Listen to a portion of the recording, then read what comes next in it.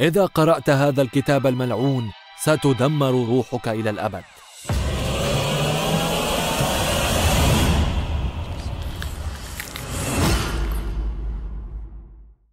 تجدون في المركز الأول المنشور المثير للجدل لرواية مدام بوفاري من تأليف غوستاف فلوبير التي حيرت ملايين القراء حول العالم.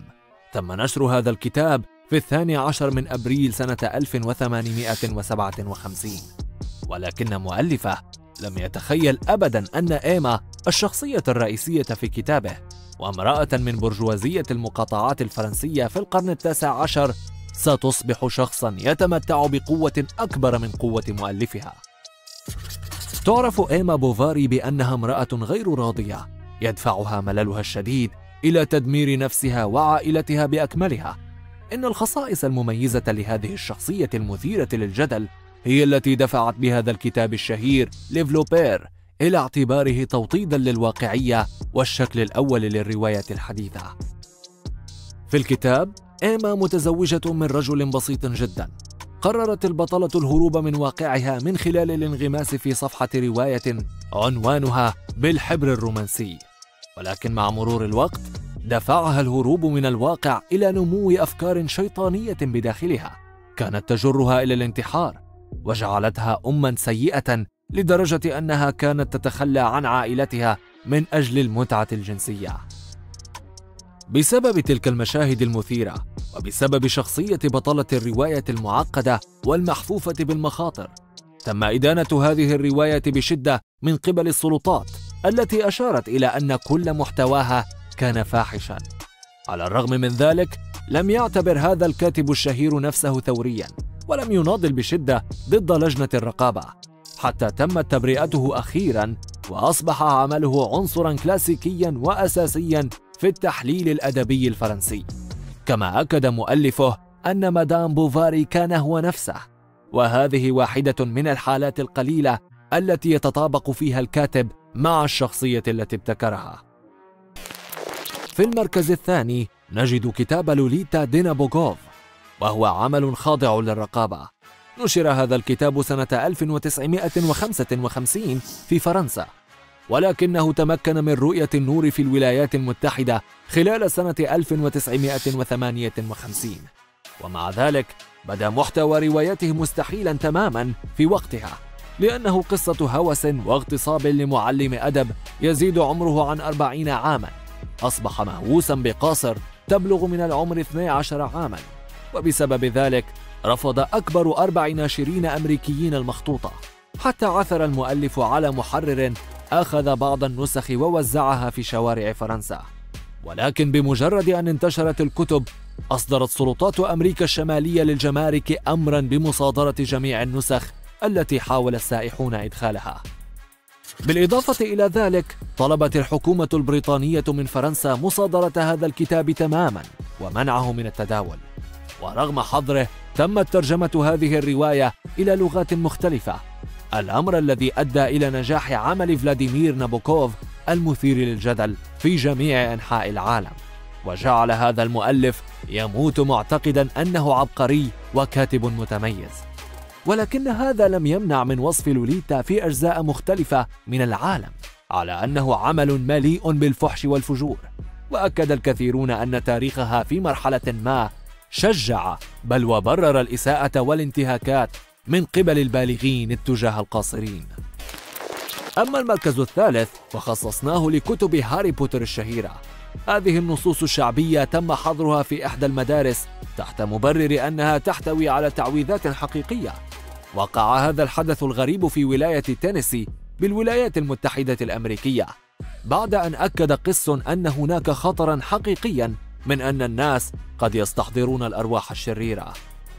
بنى رجل الدين هذا حجته الغريبة على حقيقة أن هذه الكتب الشهيرة تروج للسحر على أنه جيد وسيء وهذه خدعة ذكية. بالإضافة إلى ذلك عند قراءة هذه التعويذات يتعرض الناس لاستحضار أرواح شريرة مختلفة تظهر كما لو كانت حقيقية. في الواقع زعم بعض الأطفال من مدرسة التينيسي أنهم شهدوا الظهور الفعلي للكائنات الشيطانية التي خرجت من الكتب عندما كانوا يقرؤون التعويذات.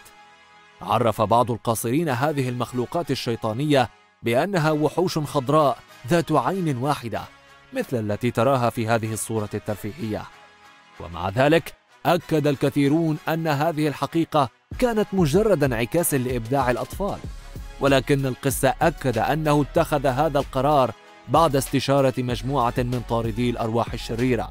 ليس فقط في الولايات المتحدة ولكن في روما أيضا.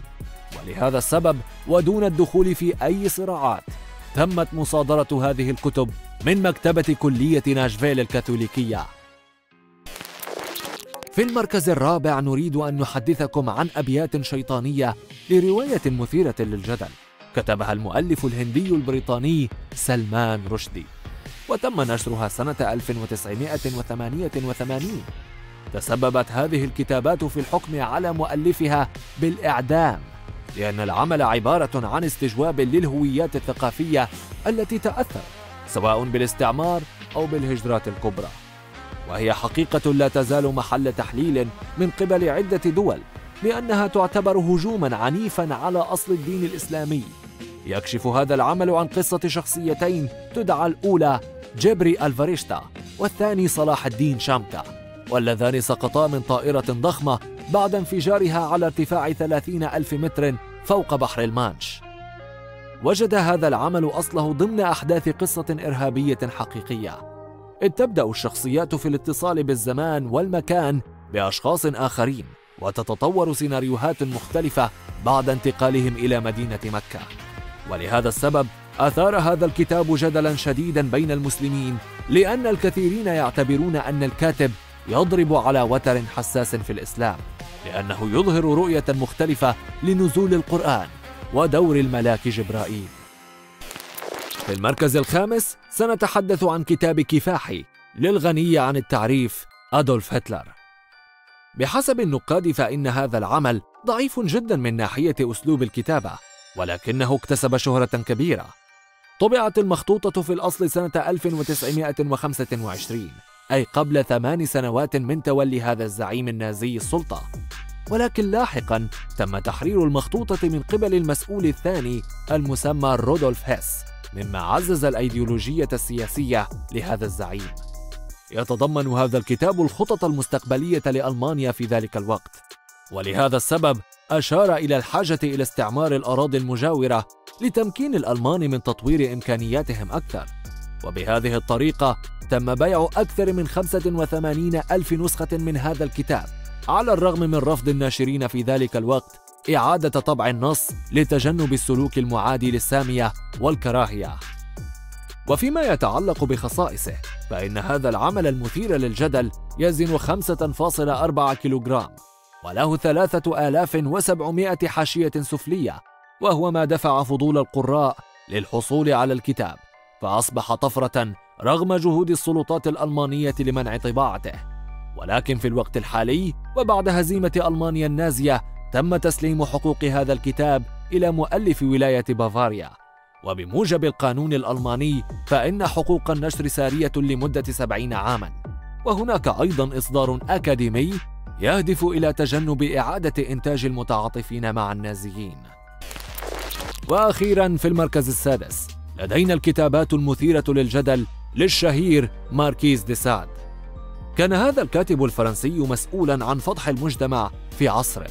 لأنه تجرأ على وصف جميع أنواع الانحرافات الجنسية في كتاباته بالتفصيل. الشيء الذي تسبب في الكثير من الضجة والذعر في القرن الثامن عشر والتاسع عشر ومنتصف القرن العشرين. ولهذا السبب واجه هذا الروائي طوال الوقت خلافات عديدة ذات طابع جنسي.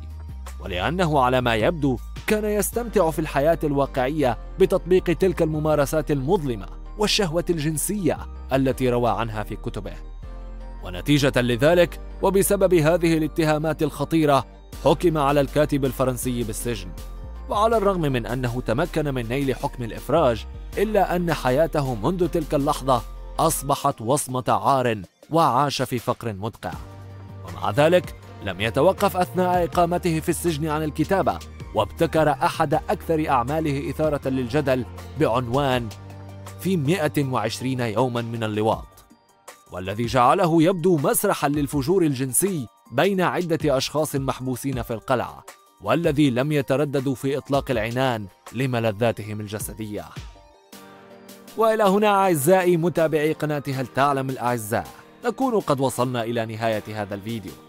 إذا أعجبكم وتريدون المزيد من هذه الفيديوهات اضغطوا على زر لايك وأخبرونا في التعليقات. ولا تنسوا اشتركوا في القناة وفعلوا زر الجرس لتكونوا أول من يتوصل بالفيديو القادم. نلتقي في الحلقة القادمة. إلى اللقاء.